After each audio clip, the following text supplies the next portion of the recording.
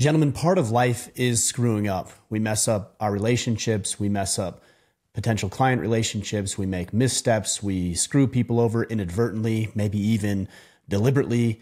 Uh, but life is full of missteps, miscalculations, uh, looking after our own interests, self interest, and it's uh, not always as virtuous as we'd like it to be.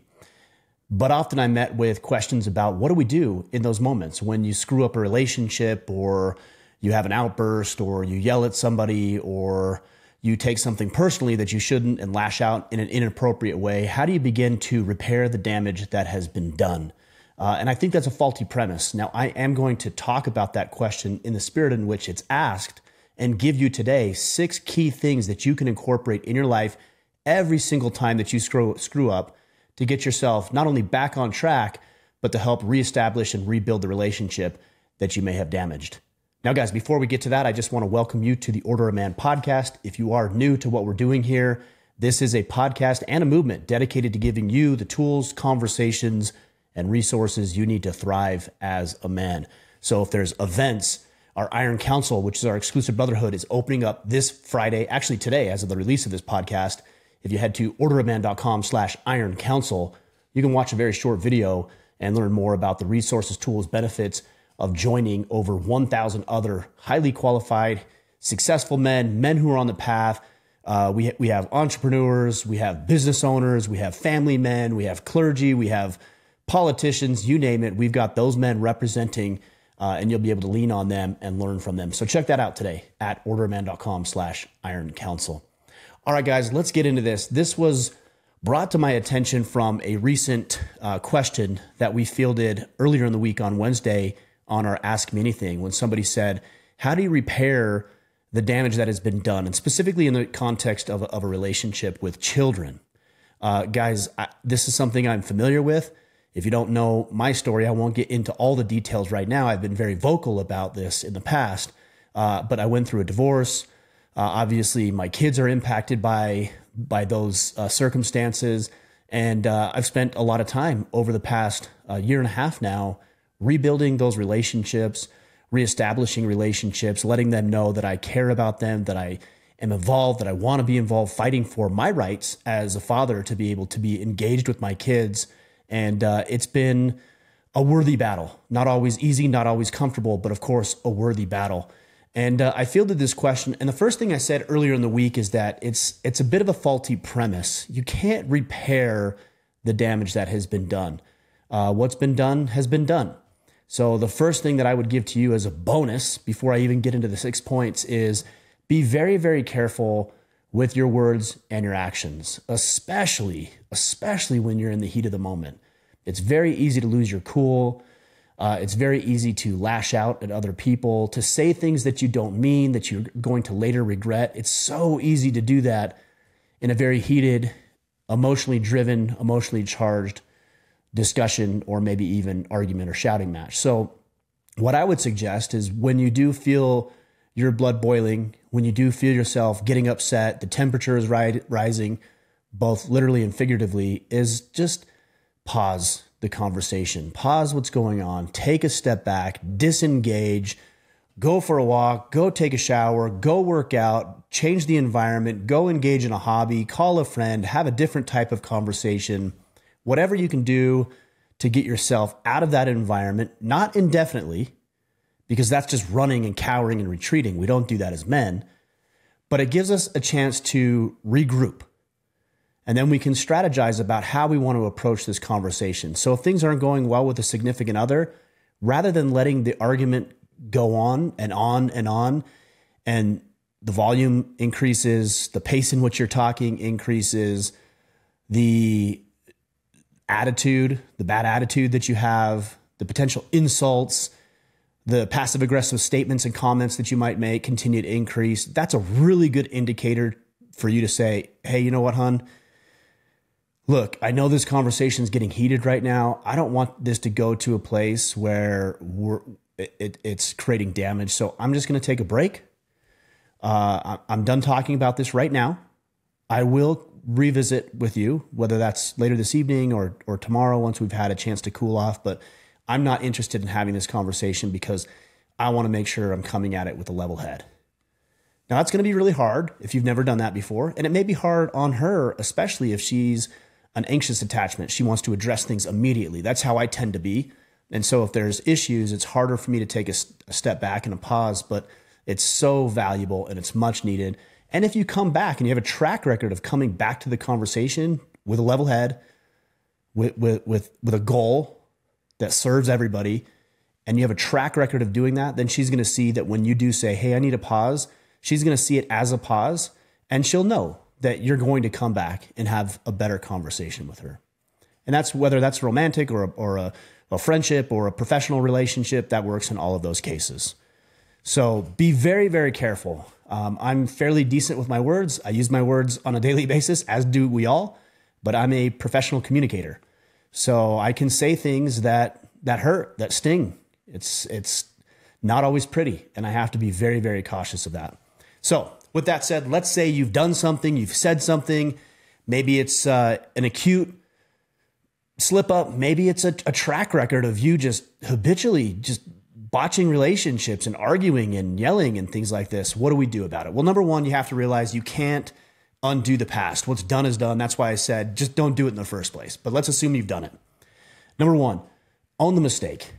Just own it. It's so refreshing. How often have you heard somebody say to you, hey, you know what? I screwed up. I came at this the wrong way. I'm sorry for what I did. I should not have acted like that. I should not have said those things. I should not have done what I did. And I just want you to know that I am genuinely sorry for what I did. I recognize that I was in the wrong, uh, or I recognize that what we were upset about had less to do with you and more to do with what I was dealing with. And I see that and I'm sorry. That is a powerful statement because it isn't one that's used too often. And so when somebody actually says that in earnest, the other party is inevitably, naturally going to listen because they're not used to hearing it. They're used to people giving the silent treatment. They're used to people stonewalling, gaslighting, manipulating, yelling back, getting defensive, argumentative, rationalization, justification. That's what other people are used to. In fact, that's what your people, your wife, your kids, your colleagues, your coworkers, your boss, your clients, etc., expect of you. So when you come to them and you say, "Hey, you know what, hon? Last night we got into this argument and it was stupid and it was silly and I was upset about something else and I'm sorry. I approached it wrong. What I should have done was this, or how I should have handled it was this, or what I should have said was this, and I'm very sorry." Now, one thing about apologies is they cannot be contingent upon the other person's response. Let me give an example. You say something that you shouldn't say to your wife, and you're thinking about it later that evening or in the morning, and you think, man, I was a real jerk. And so I'm going to uh, apologize just to get on her good graces. That's not a good reason to apologize apologizing to make somebody else feel better isn't really the point of an apology. The, the point of an apology is to admit fault. It's not so you can feel better. And we'll talk more about that. But the first stage of this is an apology. It's not to make somebody else feel better about what you did, it's just to admit that you were wrong. So you go to your wife and you say, Hey, I'm sorry, hon, about what I said. I shouldn't have said that. And she lashes back out because she's still frustrated about what you said. So she lashes out. Instead of receiving that apology the way that you would have liked her to receive it, she lashes back out at you and say, Well, you know what? Screw you. I'm not sorry because of dot, dot, dot, dot, dot. And you go right back into the conversation or the argument that you had the night before. That's a good indicator that you were not apologizing sincerely. It wasn't in earnest and you weren't doing it for the right reason. A genuine apology has nothing to do with the way the other party receives it.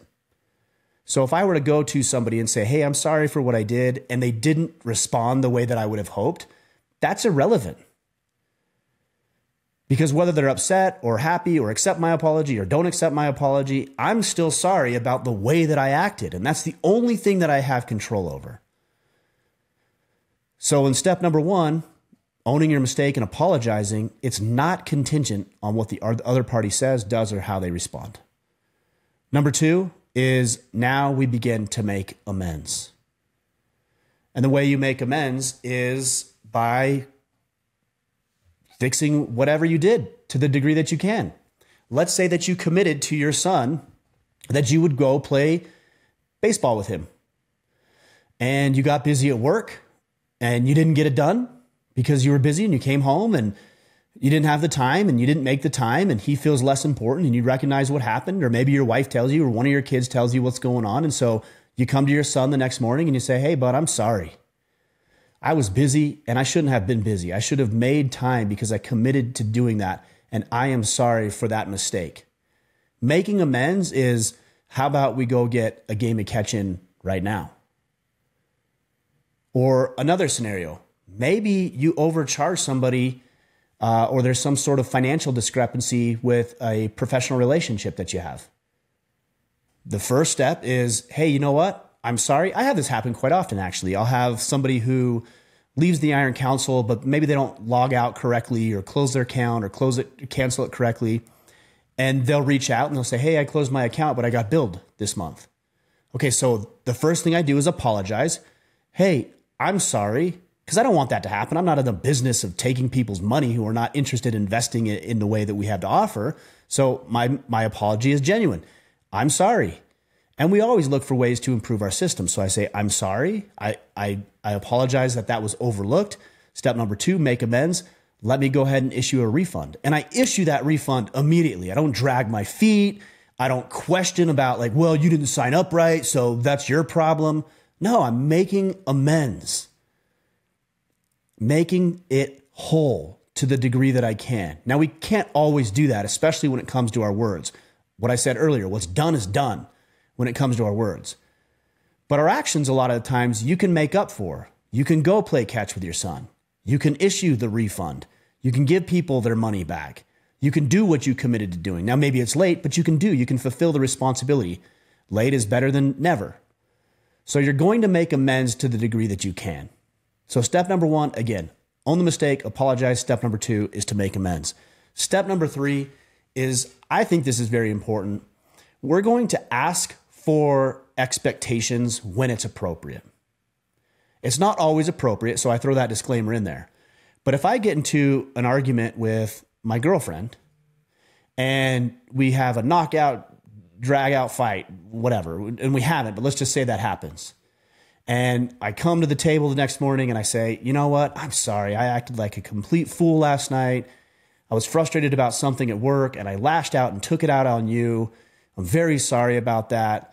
Um, you know, and you try to make amends to the degree that you can. You explain what happened and, and you don't make any justification for it. You just explain it and so you say, I'm sorry. Okay, so now where does this come into play with the expectations? Well, what I would say in this case is in the future, it always starts with that statement in the future. So, in this scenario, I would say, in the future, when I'm stressed out about work, I'm going to commit to you to compartmentalize that.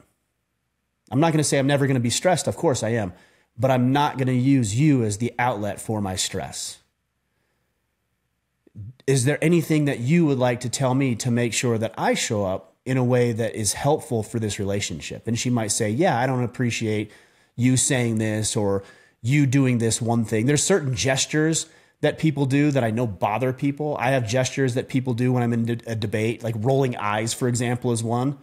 Like I don't appreciate when I'm trying to have a conversation with somebody, even if it's, you know, contentious or confrontational and they roll their eyes. I don't like that. So if if I'm having a conversation with somebody I care about and they care about me, an expectation of mine would be hey, you know, I really have a hard time when you roll your eyes. That that is a complete lack of respect and I don't appreciate that. So in the future, let's have a discussion, but please don't roll your eyes at me. Or don't don't do the like whatever. Like that's another one that drives me crazy because that's dismissive. I don't I don't appreciate that. I don't respond well to that. So right now what we're doing is we're managing expectations. And we don't need to be contentious about it. We don't need to argue about it. It's just simply something that I want to make sure is communicated. I don't like when you roll your eyes, or I don't like when you make that statement or that whatever that that thing. I don't like that, and so you communicate that expectation and you ask for them not to do that. Okay, and then you also communicate your expectation. Hey, in the future, I'm going to make sure that I uphold that. But also, please, I would like to make sure that we can, when I'm stressed or when we're having a conversation, um, you know, that, that we are able to work it out and we don't run away from the conversation. But if something's really bothering you, please let me know so I can approach it and begin to work on it.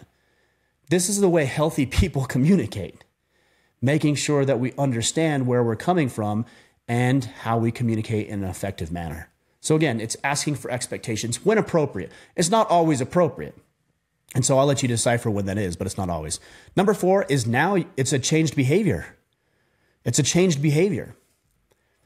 So to go back to that scenario, you, ha- you have an argument with your, your, your girlfriend, your, your significant other, your spouse, and, and you're stressed from work and you uh, lash out at her in some unreasonable way. What you've done is you've owned the mistake. Hey, hon, I'm sorry. I acted like a fool last night. You apologize. I'm very sorry. Uh, and, and then you make amends if possible. If possible, you can't really make amends in that situation, but then you uh, set the expectations. Hey, in the future, when I'm stressed about work, I'm going to compartmentalize that. I'm not going to bring that baggage here to the conversation. I may share it with you, but I'm not going to use you as the scapegoat for my stress. And what expectations do you have of me? And then hopefully she says, These are the expectations. You say, Got it. I can do that. And now it's a matter of doing it. Now it's where the rubber meets the road. Can you actually do what you said you're going to do? Now, this is tricky because a lot of the times we have long term relationships and you've built a pattern. You've conditioned the people in your life to believe that you're going to behave a certain way. So if you always lash out at your wife because you're stressed at work and you go through this process, you own the mistake, you apologize, you make amends, you ask for expectations, you you clarify what expectations she can have of you, she's probably not going to believe that you're going to change the behavior because you've gone through this bullcrap before. You've done all this. Everything I'm sharing with you, you guys already know. And in fact, a lot of you are using it as a manipulation tactic. You do it and you say these things just so she'll feel better about your lack of showing up in an appropriate way for her. So when the rubber meets the road, which is now action, and you get stressed at work, and that's inevitable, and you come home and you're stressed out because of the project or a client or the deadline, and she's just trying to be there and be supportive and ask questions, and you go use her as a scapegoat, she's going to think that that's what you're going to revert to. So don't blame her for what you've conditioned her to believe about you. I hear that from a lot of guys. Well, my wife doesn't trust me. My boss doesn't believe in me. My kids don't love me. Why is that the case? Let's ask ourselves that. Why? Is it because we've conditioned them to believe that we're going to react a certain way? So, this is not a game, guys. What I'm teaching you right now is not to game the system and to make people feel better about your lack of performance. It's actually changed behavior forever. So, when you're stressed out at work, your response is, Hey, hon, you know what? I know we got a lot going on. I know I told you I'd mow the lawn this afternoon, and I will get to that. I'm very stressed at work right now. Uh, missed a deadline and lost a big client today. I'm just going to take 10 quick minutes. Uh, I'm going to go take a shower real quick, or I'm just going to go for a walk around the neighborhood, go check the mail, whatever, whatever your thing is, little outlet. And uh, I'll come back and I'll have a conversation with you. I'll go mow the lawn. I'll do what the things that we said we're going to do tonight. I just, I need 10 minutes. Now, again, she may not believe that, but if you take your 10 minutes, not 15, not 20, not two hours, but you take your 10 minutes and you come back with a level head, refreshed, ready to engage with her and your kids, ready to mow the lawn, be there for dinner, all the things that she said you'd do, she's going to start to believe that over time. It's not a one and done. Because I'll hear that often too. Well, I did everything you said, right? she's still pissed at me. Well, yeah, you've been doing something else for 20 years. And that's what she believes. In fact, she might even think, because I told you this is not manipulation, she might even believe that you're trying to manipulate her. She might even think, well, you're just listening to that, that podcast, and that's the only reason you're doing this. She probably will believe that because it's so alien, it's so foreign to her.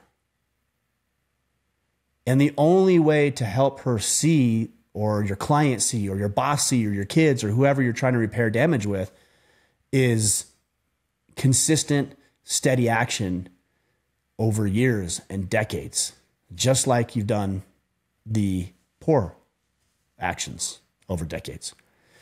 All right, the next one. So we have own your mistakes, apologize, make amends. Uh, then we have number three, uh, ask and give expectations. Number four, change the behavior over the long haul. And then number five, check ins. It's important to check in, but we're not doing this for validation reasons. And there's a, there's a really big distinction here. Because if you're validation seeking, it's going to come across as disingenuous. So let's say we'll go back to this scenario with your wife. So you can see, like, this is common. I hear this a lot. This is why I'm talking about a lot. You get an argument with your wife, you do all the things I tell you to do, and then you go to her and you're like, "Hey, like, am I doing better? Like, how am I doing? Are you like, are you feeling better about this? Like, am I doing better at this?" That's validation seeking. The motive of doing that is so you feel better about the way that you show up. And that's not really the motive that we want to have when we're doing check ins. The motive is to check in with her about how she's feeling. So if your check-in is, hey, like, are we good? Like, is everything okay? Like, uh, am I, how am I doing? Am, am I okay? Like, uh, what do you think about this? Am I doing better at that? That's all self-centered. And I get into that because again, I'm, I'm an anxious attachment style. So when things don't always go my way, it's very easy for me to look at it as a personal indictment. And my head starts racing and I go to like jump to weird scenarios and situations that aren't there. That's just naturally what I do. I have to be very aware of that because I will fall into that guys, what I'm talking about here is just checking in. Like, hey, you know what, hon? The last couple of weeks, I've been very stressed at work. I'm sure you know. And I know a month ago, you know, we got into a, a pretty heated exchange about the way that I showed up when I was stressed. I would just like to check in with you in the midst of my stress. How, how have I been treating you? How have you been feeling about the way that I show up when I get home? How are the kids doing? Are they feeling better about our exchanges and engagement with each other? See the difference? Same types of questions, but now it's focused on the other person. How are you feeling? How are the kids doing? What have you noticed? It places the emphasis on them, which is what you want, because ultimately we as men do want to serve other people. We do want to lead our wives. We do want to lead our, lead our children. We do want to lead in our communities. That's what this podcast is all about. But in order to do that, you can't be desperate and say, help me, help me, help me. You fix me, help me, help me feel better about what's going on. No, that's not what we need to do. What we need to do is, how are you feeling about this? And maybe she'll give you some feedback. She, she might say, hey, you know what? You're 90% awesome. You do such a great job. I've noticed a huge improvement and we feel a whole lot better. Great, hon. Anything I can do, go back to the expectations. Anything I can do a little differently or anything I need to be aware of to make sure, because sometimes I don't always see it for myself Anything I need to be aware of? No, you're great. Or she might say, yeah, you know, like sometimes when you get home, you disengage for an hour and you come back and you're always positive, but man, is there any way to have you home like right when you get here? And so maybe you can talk about what that would look like. So you go back to that managing expectations.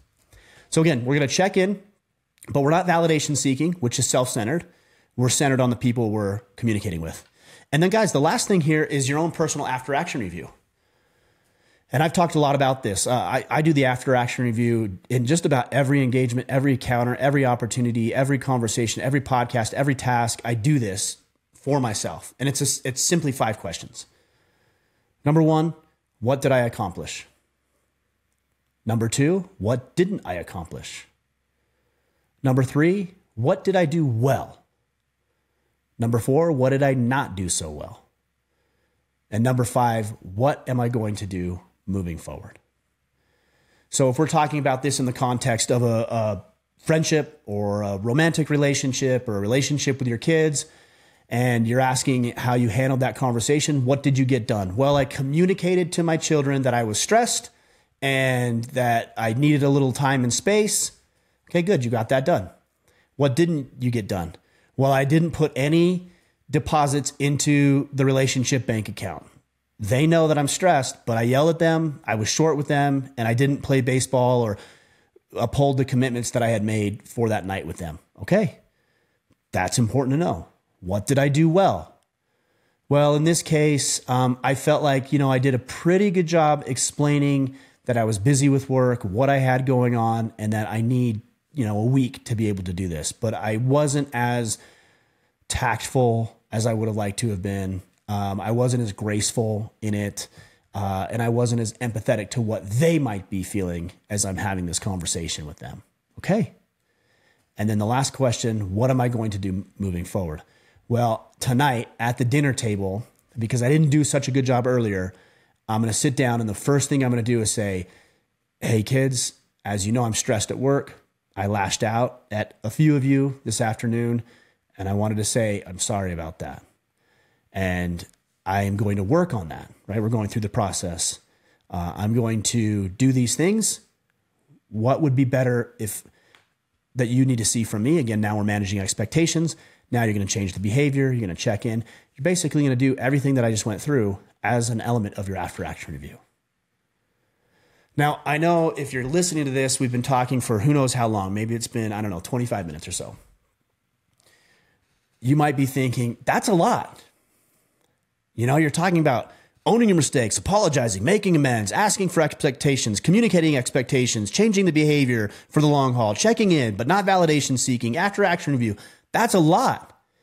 And I would suggest that if you're not used to this, it does seem like a lot. But I promise you, the better that you get at this, number one, you will need to do it less often because you don't want to do it. So you'll begin to change your behavior, right? That's point number four, changing your behavior, which leads to less having to do this. That's the first point that I made. Like, don't mess up in the first place because then you don't need to worry about any of this. But when we do, and we inevitably will, this is the process. But I'm telling you, it gets easier.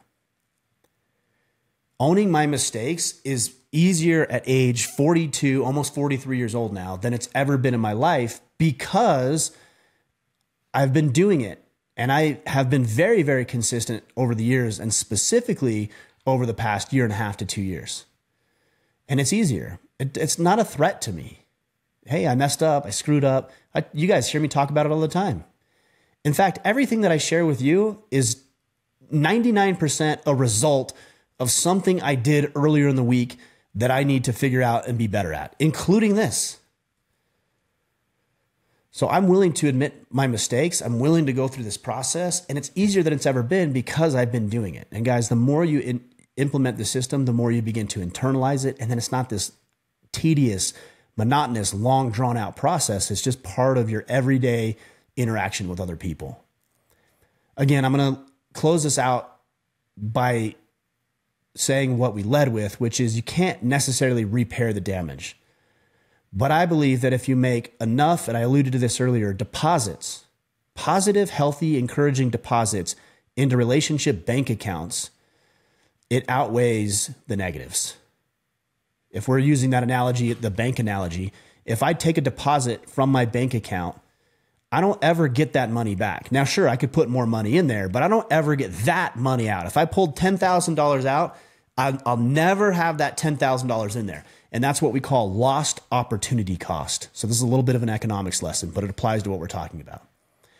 If I take that $10,000 as a deposit from that bank account, I lose the $10,000 and whatever it would have earned. That's what we call lost opportunity cost. Even though I might in 30 days replace it with another $10,000, that's 30 days of growth that I'll never get back.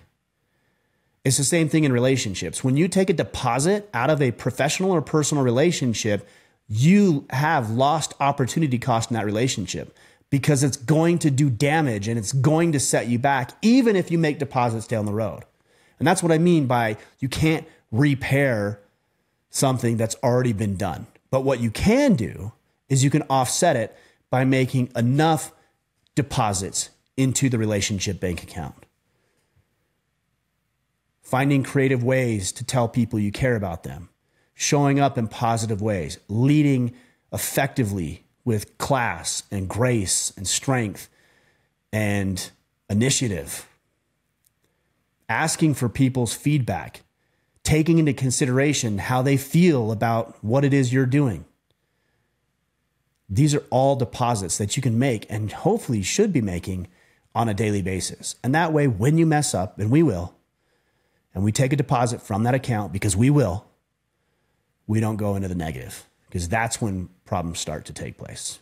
I'm talking about separations, divorces, losing a job, losing clients, getting passed over for the promotion. When that relationship bank account is at zero and you take one more deposit, it's done. So make sure you're always making those encouraging deposits into the relationship bank accounts. All right, guys, I hope that serves you. Uh, again, as a reminder, today we're open.